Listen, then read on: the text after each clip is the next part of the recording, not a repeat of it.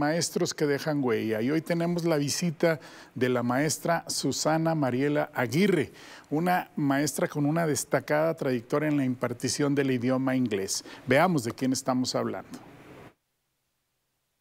You Travel, El Mundo Te Espera, presenta Maestros que dejan huella. ¿Quién es Susana Mariela Aguirre Hernández? Nació en Saltillo el 18 de agosto de 1969. Su preparación académica.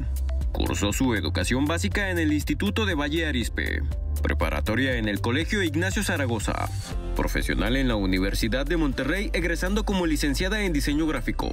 Su cédula profesional es la número 501-7786. De 1979 a 1999 realizó su especialización en la enseñanza del idioma inglés como lengua extranjera en el Instituto México-Americano de Relaciones Culturales de Saltillo cursos, certificaciones y especialización. En 1992, curso de italiano con la profesora Paola De Lelis, catedrática de literatura y lengua italiana de la Universidad de Parma, Italia. De 2000-2001, diplomado. La enseñanza del inglés a niños, certificado por The British Council. De 2001-2002, certificado para la enseñanza del inglés en el extranjero por The British Council.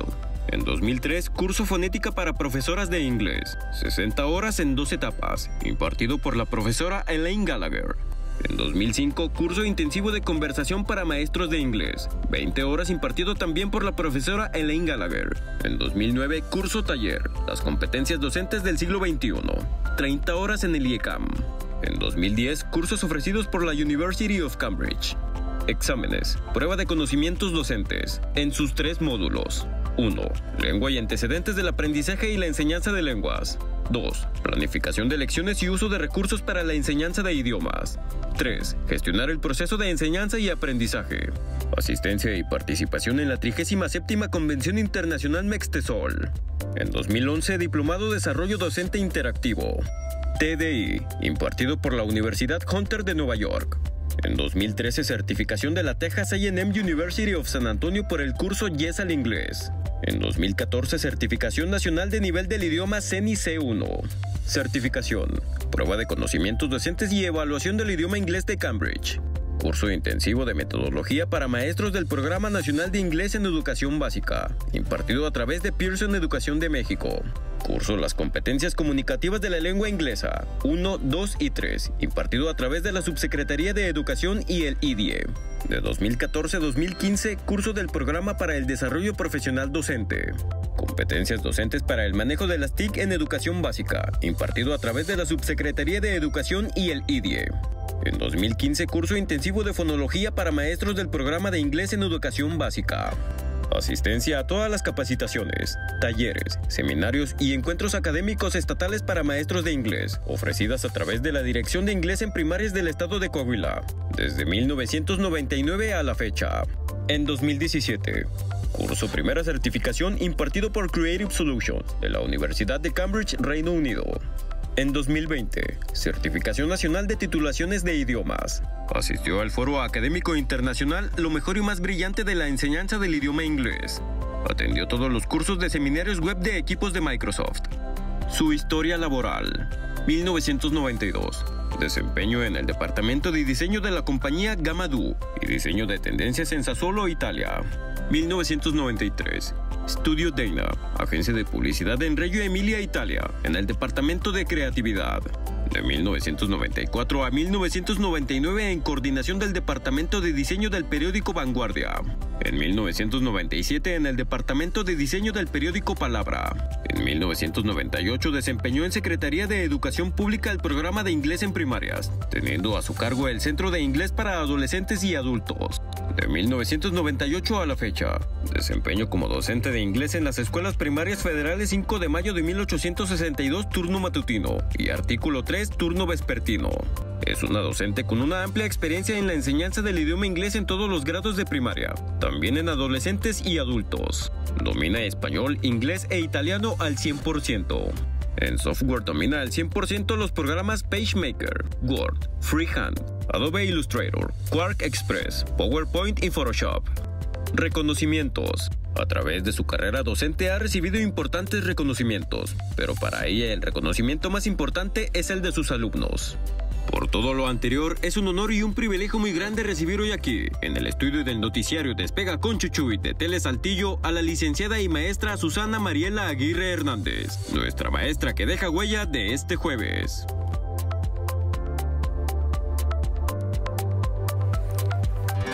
Susi, bienvenida. Muchas gracias, Chuchuy. Gracias. Oye, ¿qué, qué, qué, eh, qué currículum tan completo pero refleja una gran pasión por la enseñanza del idioma inglés. ¿Por qué? ¿Por qué el idioma inglés y por qué debemos enseñárselo a todos nuestros niños desde primaria? Sí. A ver.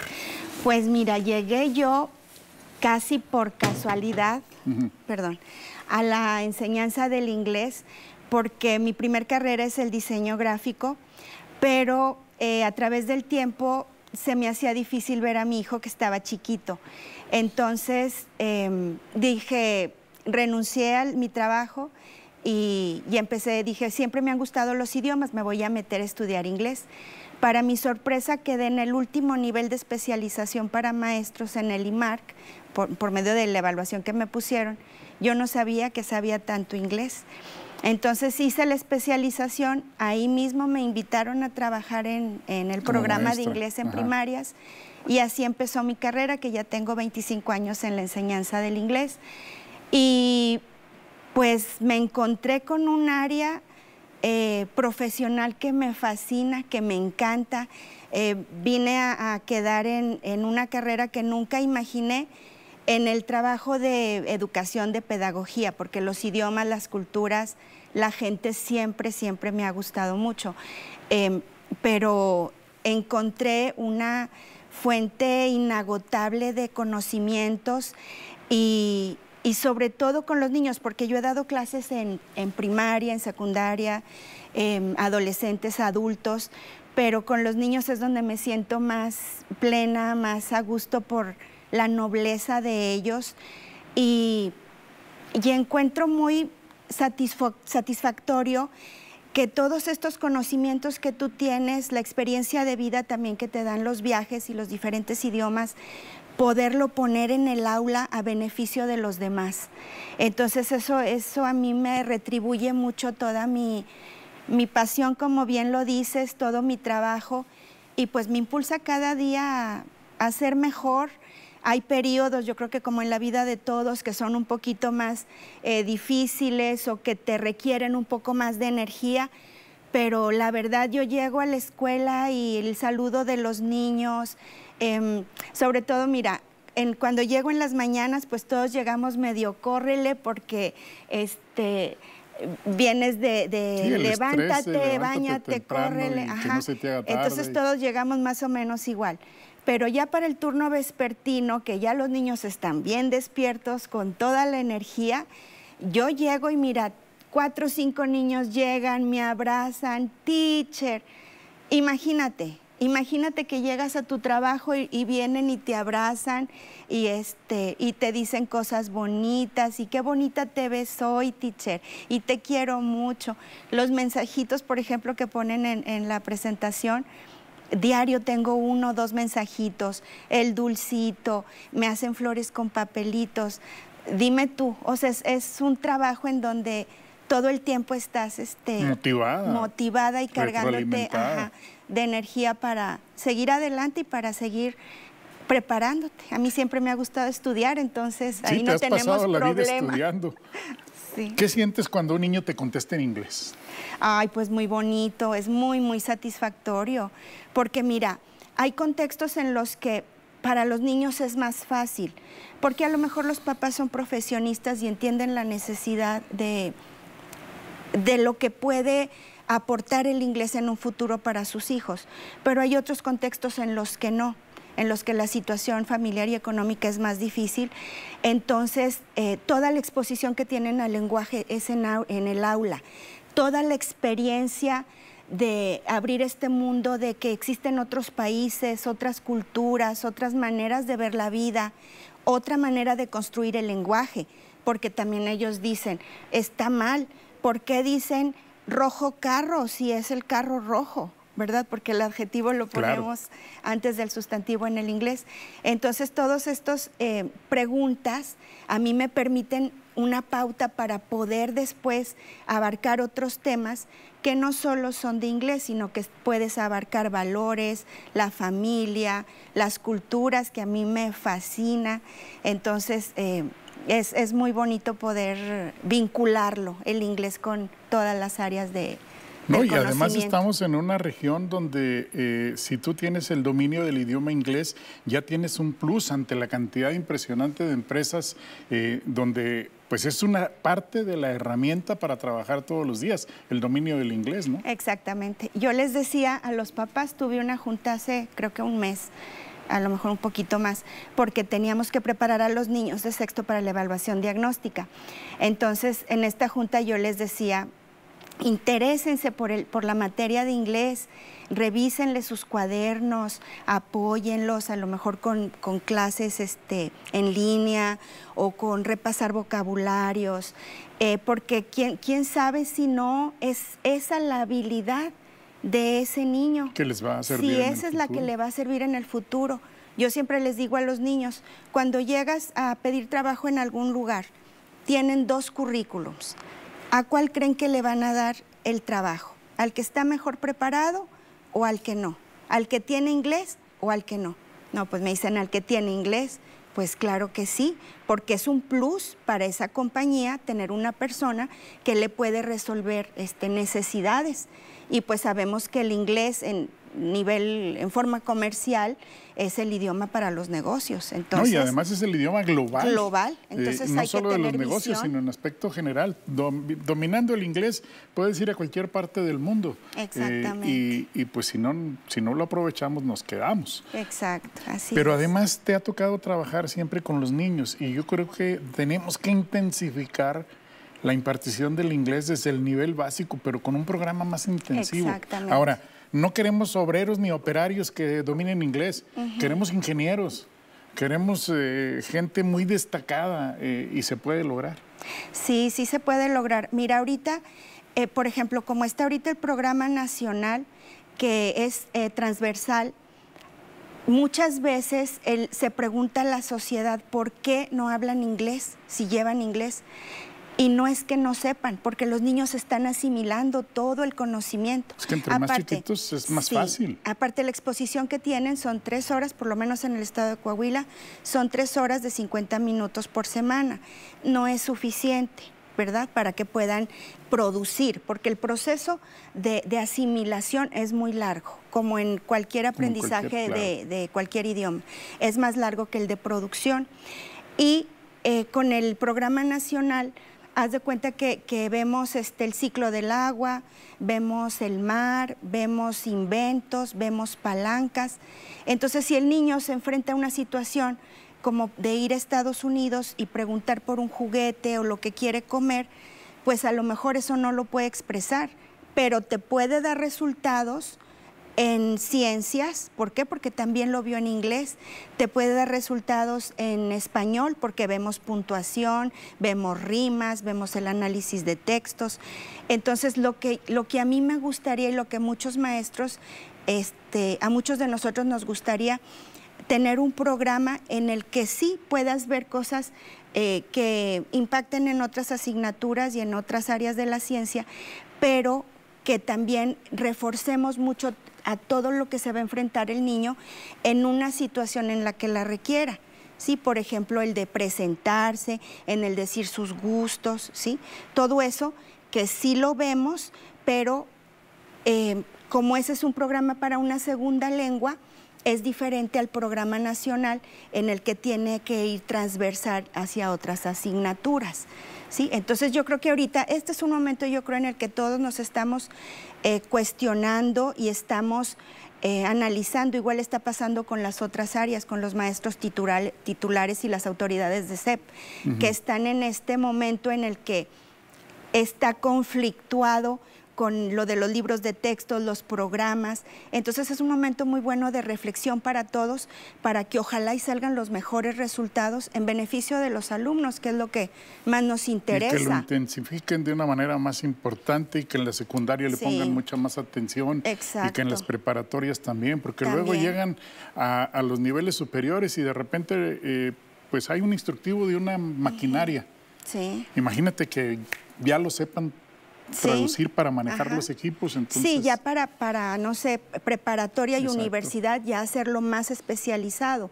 Y en las áreas de, infancia, de sus primeras este, clases, pues sí también necesitamos mucho apoyo de las autoridades en el sentido y de los papás de ver la importancia que, que el inglés tiene para la educación de sus lo que, hijos. Lo que tú decías, eh, cuando presenten sus currículums, escojan la carrera que sea. Sí, lo van a eh, necesitar. Va a ser un plus muy grande para no solo para conseguir un mejor sueldo, sino también un mejor salario y para que se les abran un mar de oportunidades muy importantes. Y fíjate, discúlpame, por ejemplo, me estoy acordando de ahora en, vacaciones que tuve oportunidad de ir a Estados Unidos y Canadá, eh, yo les decía a los niños, mi experiencia sabiendo inglés es diferente a otra persona, que igual lo disfrutamos, pero yo puedo pedir lo que quiero de comer porque le entiendo a lo que me están ofreciendo. Yo puedo hacer amigos porque podemos, este, no nos frustramos al, platicar porque podemos mantener una conversación. Cualquiera puede, puede hacer amigos, ¿verdad? No importa la barrera del idioma, pero, se facilita, se facilita, se facilita y este no perderte, poder dar con, una dirección, te, te, abre puertas, no te limita a, no porque cómo le pregunto, no cómo, cómo le hago, y si me pierdo, cómo regreso. Entonces es, una herramienta... Que te abre muchos horizontes. exactamente. ¿Te ha tocado que un niño motive a toda su familia para que le entren al inglés?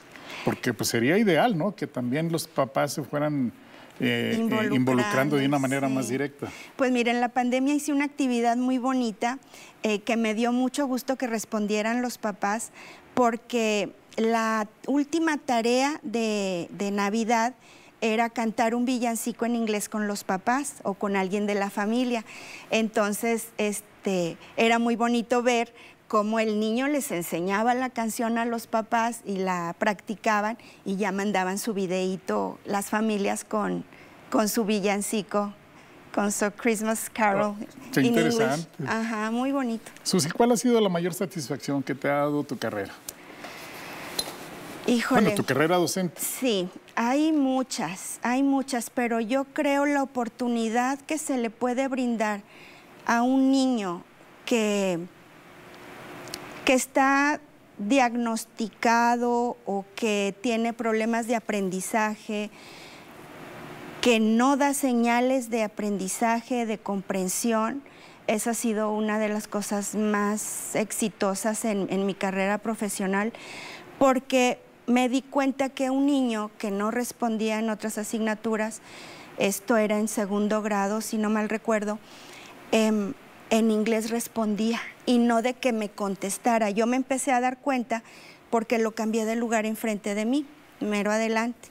Y entonces yo hacía contaba historias y luego hacía preguntas acerca de la historia y él ponía el dedito en la respuesta en el libro. Entonces yo empecé a cuestionarme, a ver, ¿por qué me está respondiendo bien? Este, lo está comprendiendo y su manera de responderme es con el dedo en la palabra. Entonces empecé a ponerle más interés al niño. Para hacerte la historia este, corta, eh, se convirtió en el mejor alumno de inglés, de, inglés, este, recalco, porque en las otras áreas no respondía. No avanzaba lo suficiente. pero eh, cuando hice la maestría me metí mucho a estudiar la plasticidad del cerebro. Entonces me di cuenta cómo diferentes áreas del cerebro responden a diferentes estímulos. Y la lengua materna está ubicada en una, en una parte y la segunda lengua en otra. Entonces, probablemente su lengua materna tenga algún daño. No soy neuróloga, no soy especialista, son conclusiones de mi experiencia. Y, y yo digo, bueno, tal vez tenga una afección en su lengua materna, pero la segunda lengua es un campo fértil y lo está demostrando. ¿sí? Al llegar a quinto grado, me acuerdo que, que una niña eh, me dijo que su mamá le había dicho, esta niña era muy aplicada, muy este, estudiosa y su mamá la apoyaba mucho. Y me dijo que su mamá le había dicho que cómo era posible que él fuera el niño más destacado en inglés. Le dije, invita a tu, a tu mamá a la clase Ah, para bien. que vea. Todavía no estoy terminando de apuntar una pregunta y el niño ya está con la mano levantada. Estoy preguntando, este, les digo palabras en español para que ellos practiquen la pronunciación en inglés y ya me lo está diciendo. O sea, no me dejaba al punto de que, ah, para esto, hablé con sus, sus papás para que en casa lo apoyaran con que viera caricaturas en inglés, que si podían le inglés. compraran libros en inglés, todo lo que pudieran en inglés, porque esa iba a ser su área en la que él iba a poder destacar a- en un a futuro, porque todas las materias las podía aprender a través del inglés. Fíjate nada más. O sea, él no era exitoso en matemáticas o en español. En- Pero en inglés era pero en inglés sí podía. De bárbaro. hecho, en una ocasión fueron las compañeras del departamento de USAER a verme dar una clase y se maravillaban de cómo este niño comprendía y producía el, el idioma. Qué satisfacción Entonces, tan grande, qué imagínate, si yo quisiera en un futuro eh, dedicarme un poquito más al, al estudio eh, de, de ese tipo de, de alumnos, de niños, porque imagínate cuántos alumnos, cuántos niños podrían tener una oportunidad por medio del inglés. Y a lo mejor hay papás este, que batallan, que están frustrados porque no aprenden. Y yo les quiero decir que no sé en cuál cámara estemos, pero... Estás aquí en la decir- dos, aquí en el dos, centro. Sí, a todos esos papás que se preocupan porque sus hijos no aprenden, porque les dicen que no tienen la capacidad o que tienen algún problema de aprendizaje, intenten con un segundo idioma. El inglés es el que más les va a facilitar eh, muchas cuestiones, pero intenten eh, llevarlos a, a clases de inglés o ponerles, incentivarlos, ponerles simplemente la tele, cambiarles el idioma. Ni siquiera necesitan llevarlos a clases.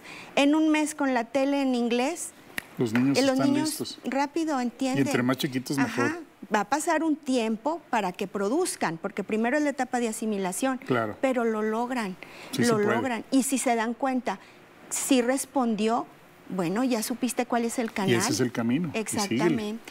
Susi, ¿qué hay detrás de Susi? ¿Qué te motiva? ¿Qué te mueve?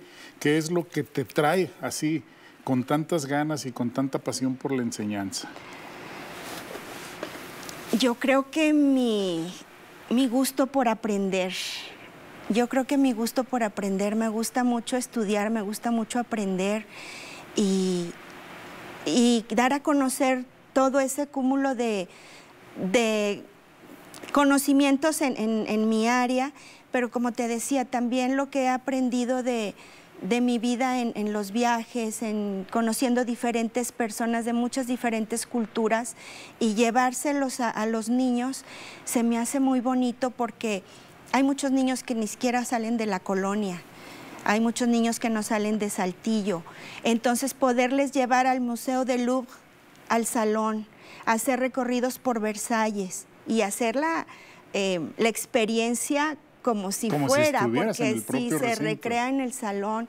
Em, poder, como te platicaba hace ratito, de que cuando existían los clubes en, en la escuela, poder hacer eh, un avión y hacer los pasaportes y darle la vuelta a la escuela y regresar al salón y luego eh, ponerles el video del país al que íbamos a visitar y mostrarles cosas de la cultura de ese No, y se país. les abre el panorama de una manera Exactamente. y los motiva Los a motiva estudiar y, muchísimo. y les gusta mucho y, y- y luego están soñando con viajar, con conocer países. Y si no estudian, no pueden. Exactamente, tienen esto que- los motiva a estudiar. Así es. ¿Y tu motor, tu familia? Mi motor, mi hijo. Mi hijo, ese es el que, el que me mueve, es un gran maestro para mí, es un gran maestro. ¿Cómo se eh, llama y cuántos años tiene ya el Se angelito? llama Rodrigo José Greco Aguirre, tiene 31 años. Pero está inmenso. Está bien alto, sí, yo le llego al hombro, sí, está grandote. Susi, felicidades, felicidades por esa bella carrera. Eh, eres un ejemplo, un ejemplo para muchísima gente, pero eh, eres también un gran ejemplo para tus niños y ojalá sigas así muchos años. Muchas gracias, Estudiando y, y compartiendo tu, todo tu conocimiento con esos niños, los cuales van a ser excelentes ciudadanos y excelentes profesionistas gracias a, todo lo que tú les compartes Ay, ojalá, en el Dios aula. te oiga. Y de una vez te hago la invitación para que antes de Navidad te traigas a los niños y nos canten aquí Ay, qué unos villancicos en inglés. Excelente. ¿Sí? ¿Oyeron? Está el compromiso hecho. ¿Escucharon mis alumnos? Muy bien. Excelente. Gracias, Susi. Muy bien, amable, muy muchísimas encantados de tenerte aquí. Igualmente, encantada. Gracias. Muchas gracias. 8 de la mañana con 31 minutos. Vámonos a un corte y regresamos. Tenemos mucha más información.